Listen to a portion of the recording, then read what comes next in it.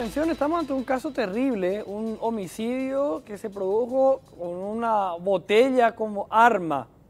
Hay un video que imagino será de terror, vamos a ver ahora.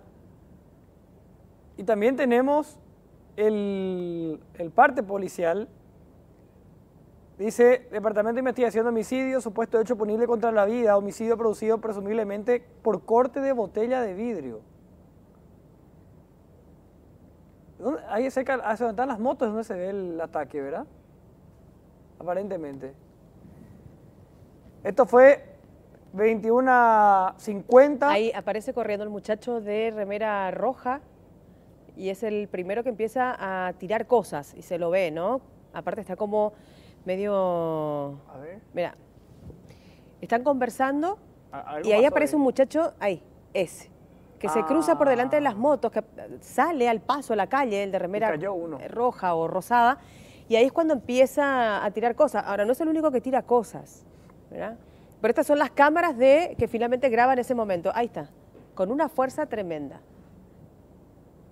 Y cayó el de blanco, ¿eh? Uno de los que estaba pasando cayó herido ahí. Esto fue en la vía pública sobre Fulgencio Yegros y Rodríguez de Francia, distrito de ah, Obligado, departamento de Itapú. Ah, pensé que fuera... Eh, víctima, Raúl Alberto Benítez, 19 años de edad, qué terrible. Qué bárbaro. Un chico que vivía también en Obligado. Supuesto autor dice persona de sexo masculino entre 18 a 25 años de edad cuyos datos se desconocen. O sea que esta es la persona fallecida, ¿verdad? La víctima se encontraba en compañía de unas personas ingiriendo bebida alcohólica frente al local denominado Surtidor El Sapo. Momento en el que se produjo una gresca donde su atacante le produjo una herida en el cuello al arrojarle, sí, viste, viste súper bien Sí, aquí. aparte, mira, y ahora lo podemos explicar, eh, efectivamente el de remera blanca, porque el de remera rosada con mucha fuerza tira a la medida que él va caminando, va pasando en dirección contraria y camina tres, cuatro pasos y se desvanece. Sí, y alguien la taja también, ahí, no sé. Eh, se produjo una gresca donde su atacante le produjo una herida en el cuello al arrojarle. Qué bárbaro. Y ahí se Al desvanece el arrojarle una botella de vidrio de cerveza.